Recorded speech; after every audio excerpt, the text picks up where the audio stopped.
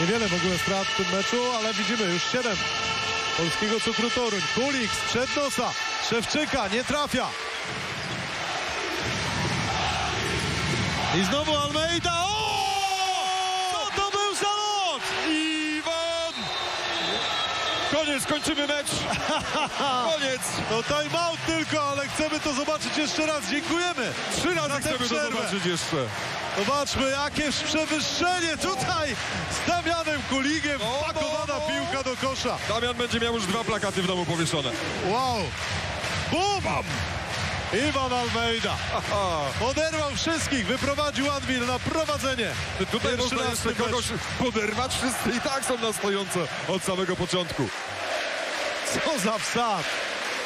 Co za wsad!